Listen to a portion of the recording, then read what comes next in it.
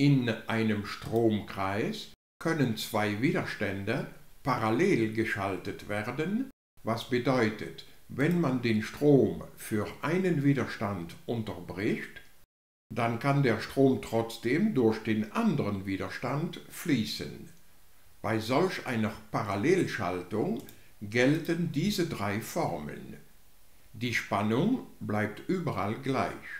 Den Gesamtwiderstand kann man so anhand der Teilwiderstände berechnen und die gesamte Stromstärke ist gleich zur Summe der Teilstromstärken.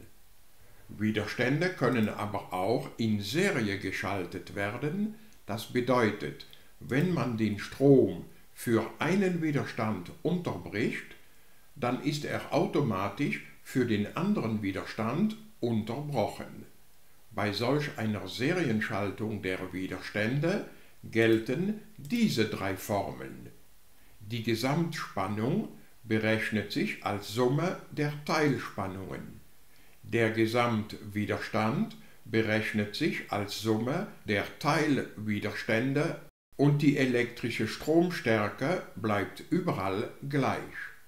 Diese sechs Formeln heißen Gesetze von Kirchhoff.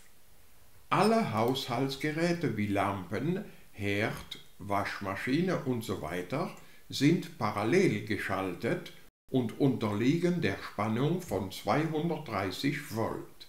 Fällt ein Stromkreis aus, so können die anderen Geräte weiterhin funktionieren